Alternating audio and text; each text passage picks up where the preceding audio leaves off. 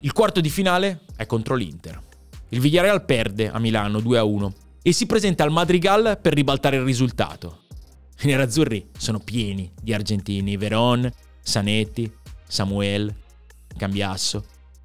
I padroni di casa riescono a sfruttare soprattutto la rabbia di Veron, che vede in Richelme e compagni un gruppo di giocatori protetti da Peckerman in nazionale.